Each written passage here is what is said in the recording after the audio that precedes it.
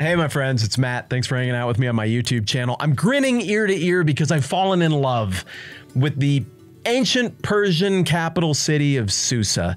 But now I'm frowning ear to ear because it's a forbidden love that can never be. We're just not able to be together, and that breaks my heart. But I'm doing my best to cope, and I suppose that this video is part of the way I'm going to do that. We can't be together because I can't time travel and see her in her full beauty and ancient splendor at her height of grandeur during the Persian Empire from the mid 500s BC to the late 300s BC.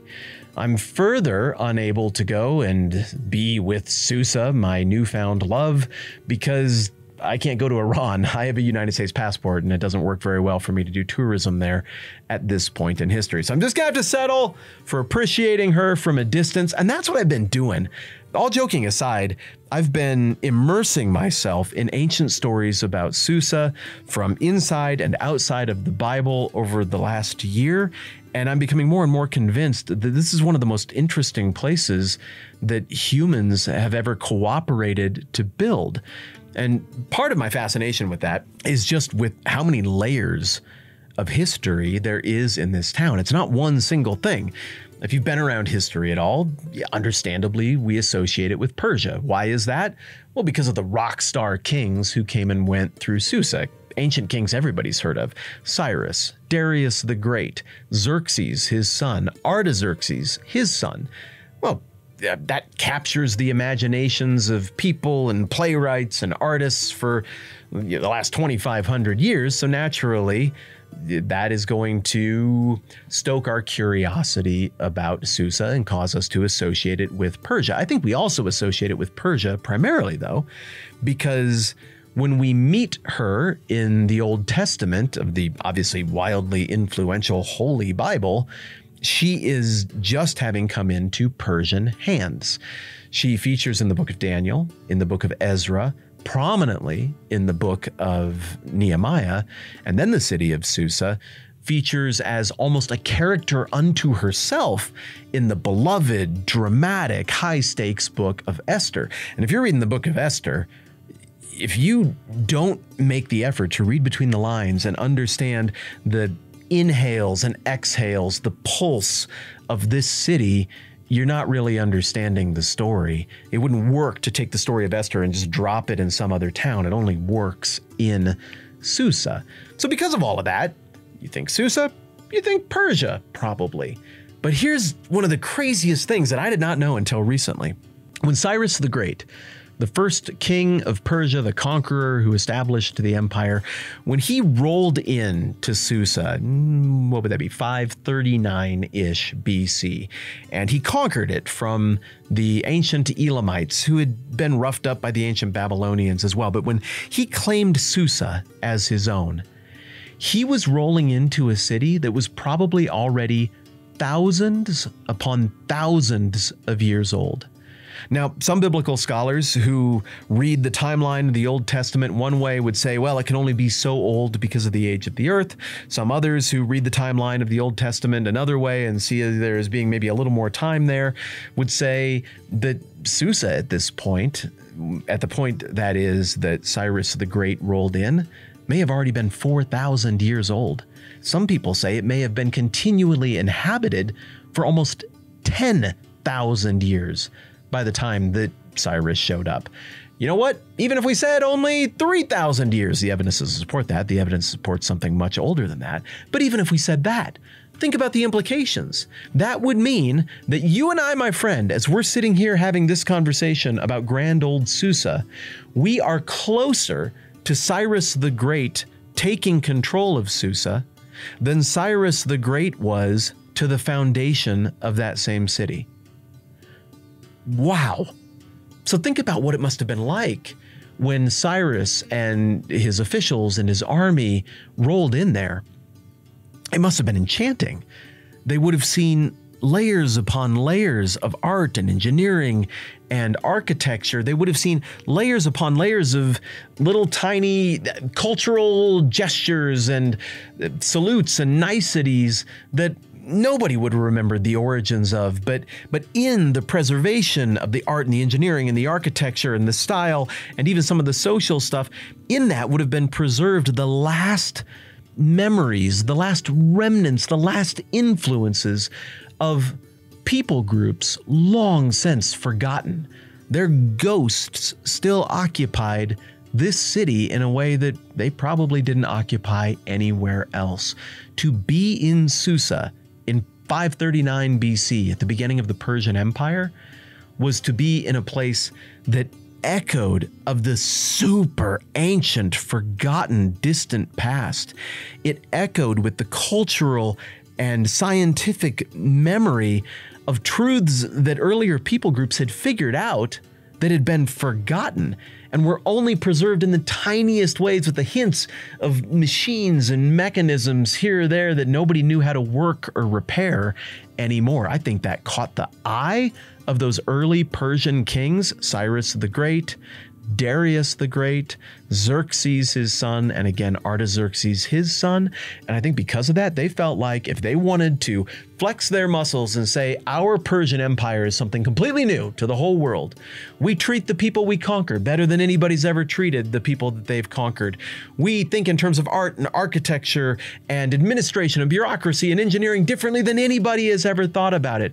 And we are a cosmopolitan empire who doesn't grind our enemies into dust or our subjects into dust. Rather, we welcome them with their styles and their features and their culture to gather to the headquarters of our governance. And they felt like the right headquarters to gather them all to was Susa. They did not choose Persepolis or Pasargadae, two cities that they built up on their own terms in Persian territory further east, to be their capital that would truly flex their muscles and communicate what they wanted to communicate. They did not choose the hip, stylish, cool mountain town of Ecbatana, which was the haunt of their old people group cousins, the Medes up north. Nope. And they didn't choose the grand, glorious, wealthy, beautiful, huge ancient city of Babylon to be their primary capital either. Nope. In the early going, these conquerors, these kings of kings who ruled the whole world from as far as you knew about to the very edge of rebel Greek territory, they wanted everybody to come to Susa because they felt like that told the story of their empire. They felt like Susa told the story of how nature and all the gods from the dawn of time had ordained that they would come into this place of prominence and pacify and beautify the entire known world. Well, and beautify it they did. Darius the Great, even more so than Cyrus, his predecessor, loved Susa and he threw money and energy into building up parts of Susa to take on a very distinctive Persian look. And then his son, Xerxes, inherited that palace complex. And we know from inscriptions on the remains of this complex that Xerxes was faced with a, a, difficult decision early in his reign. Do I spend a whole bunch of money and fix this thing up? It's going to cost a lot.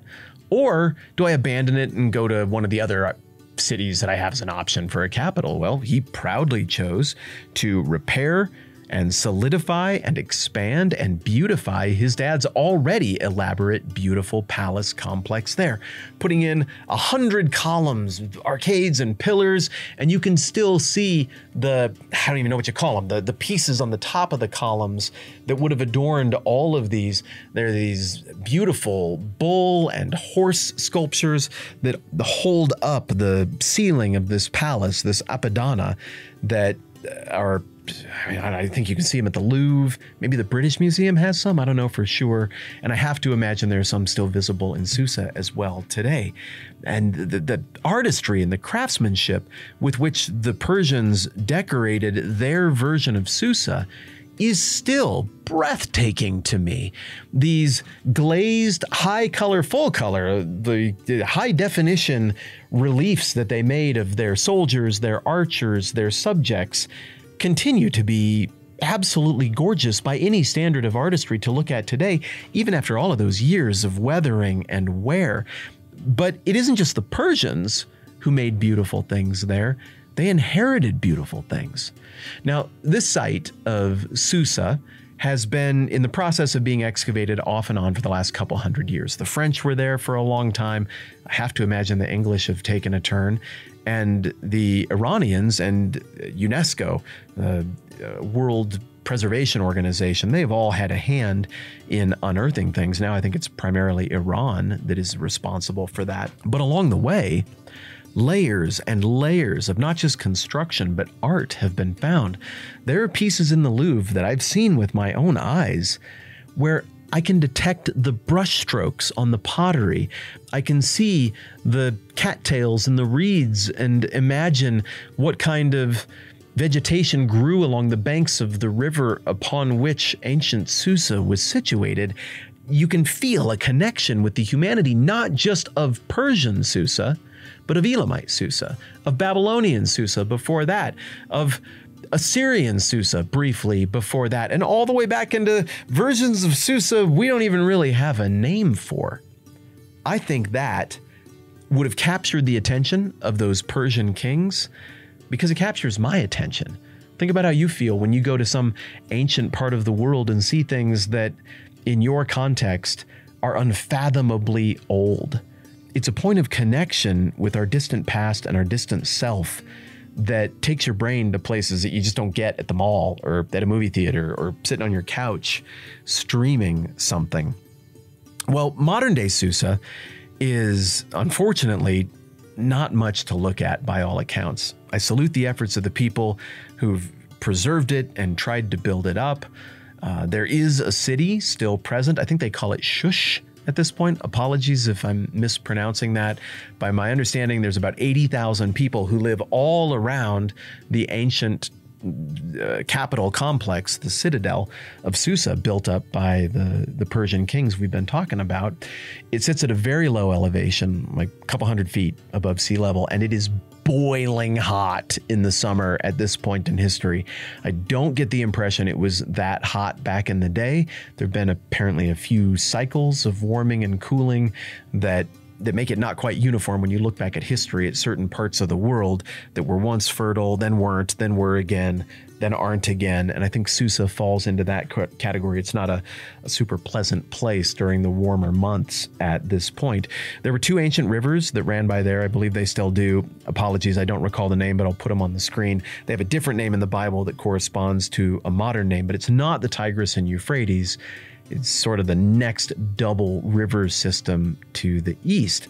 But because of the position of those rivers, because of the proximity to, I guess, what would be the Persian Gulf, and because the ancient site of Susa sits right up against the southern end of the Zagros Mountains with defense, you know, providing defense at the backside of the city and also the ability to probably escape the heat a little bit by going up. Because of that, I've got to think that if you started the world over a hundred times, Susa is going to be a place where layers and layers of civilization happen. Why do I think that? Well, because of all that geographical stuff I just said, but also because that's what happened. And think about how many opportunities there were for people to abandon it and just leave. It's like everything just got smashed by these invaders. Everything's ruined now. We should just call it quits. But they didn't. They kept thinking this is a really great site and we ought to do it. And apparently, 80,000 people today, even in a scorching moment in history in that part of the world, still think that is the right place to live, which is fascinating.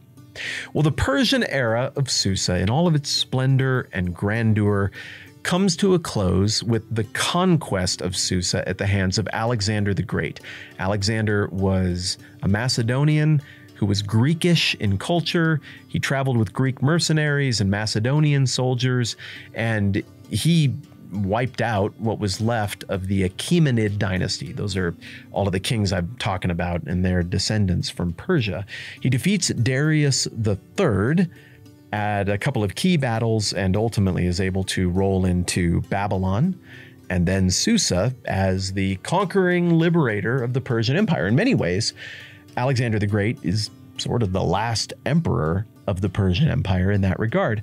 But an interesting thing happened at Susa at the very back end of the Persian era, and that is that Alexander came in, looked at the beauty of the city, and rather than wanting to just absolutely raze it to the ground, I mean, they looted the city, but rather than wanting to just destroy it and move on, he thought this would be a great site to put a historic blessing on the union of our people. And so he married a couple of Persian princesses at Susa, and then he did a mass wedding at Susa for a whole bunch of his Macedonian and Greek soldiers and travelers to a whole bunch of Persian women.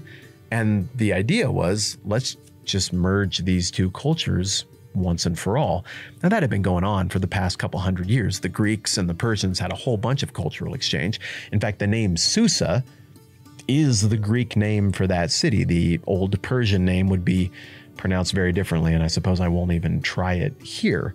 And so, that to me is the window that enchants me from Cyrus the Great and the day that he rolled in and would have marveled at at this time capsule, this preservation of all of the history of human civilization. And between that and the mass wedding that Alexander the Great had shortly before his death there. I think would be amazing at any point in history to get to use one of my imaginary time travel tokens to go back there and to see all of that in all of its glory and to appreciate what really probably was the most beautiful, most important city on earth for a chunk of time and one that has found a way somehow to scratch out an existence through all of the ups and downs of history. Last thing that I think is really fun about Susa is that she has not yet revealed all of her secrets. There was a ton of excavation in the 1800s, more in the early 1900s. Beautiful things were found that you can still see all around the world in museums. But a huge percentage of what was built by the Persians and their predecessors is still out there under the sand and the encroachment of urban development has probably caused a whole bunch of modern stuff to be sitting right over the top of things that would unlock and and solve some of the great mysteries about the Persian Empire and the things that happened in this town and maybe even our very very very distant human past. And I'm hoping that somewhere in my lifetime I might get to learn more about what secrets she still holds. Fun, fun, fun. Thank you for thinking about Susa. Hopefully, I've convinced you that it's as cool as I think it is, and maybe you even feel a teeny tiny little spark of love for this ancient city as I do as well. I'm Matt. Thanks for hanging out with me. Let's do this again soon.